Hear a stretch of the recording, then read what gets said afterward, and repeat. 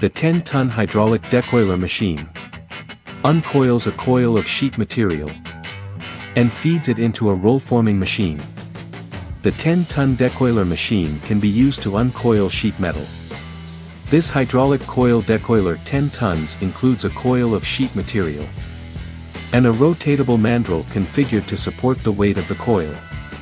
The rotatable mandrel is adjustable to accommodate the diminishing radius of the coil as sheet material is removed.